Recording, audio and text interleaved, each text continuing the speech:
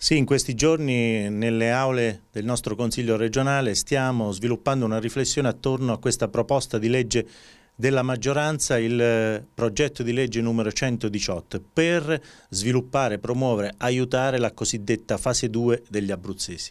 Purtroppo tante critiche si riversano su questo progetto di legge, innanzitutto sulla modalità di erogazione di queste risorse. Parliamo di 19 milioni di euro per 57 mila imprese che sono attualmente ferme. Sostanzialmente parliamo di 300 euro per ogni partita IVA.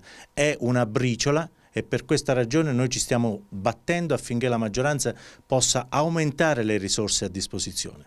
E poi le modalità di erogazione. Non è possibile procedere con bandi a sportello, cioè chi prima arriva prende e tutti gli altri restano indietro e non hanno nulla poi a disposizione. E poi chiediamo a questa maggioranza di approvare quanto prima il consuntivo della nostra regione che consente di liberare risorse.